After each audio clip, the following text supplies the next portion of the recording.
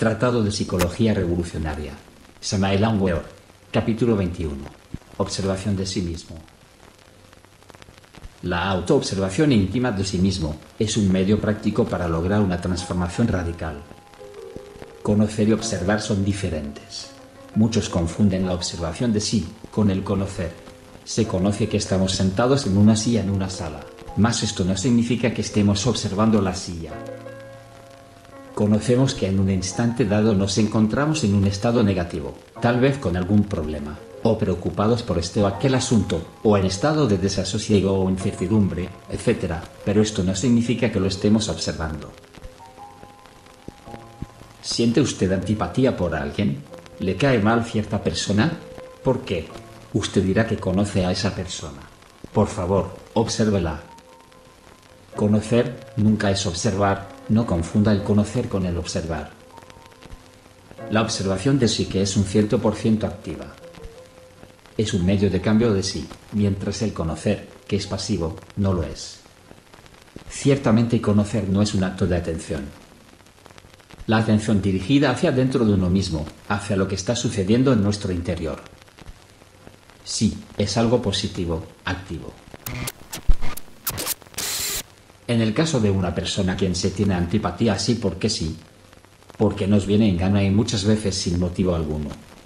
Uno advierte la multitud de pensamientos que se acumulan en la mente. El grupo de voces que hablan y gritan desordenadamente dentro de uno mismo. Lo que están diciendo, las emociones desagradables que surgen en nuestro Obviamente en tal estado nos damos cuenta también de que interiormente estamos tratando muy mal a la persona a quien tenemos antipatía. Mas para ver todo esto se necesita incuestionablemente de una atención dirigida intencionalmente hacia dentro de sí mismo, no de una atención pasiva. La atención dinámica proviene realmente del lado observante, mientras los pensamientos y las emociones pertenecen al lado observado.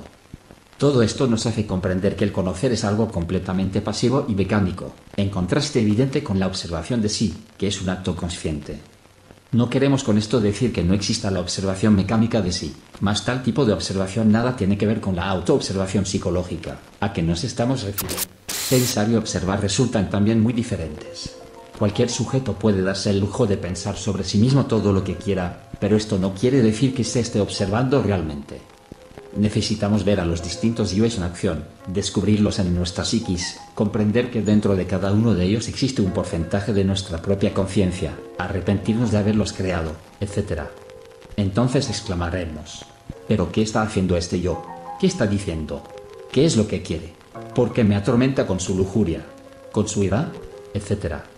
Entonces veremos dentro de sí mismos todo ese tren de pensamientos, emociones, deseos, pasiones, comedias privadas, dramas personales, elaboradas mentiras, discursos, excusas, morbosidades, lechos de placer, cuadros de lascivia, etc.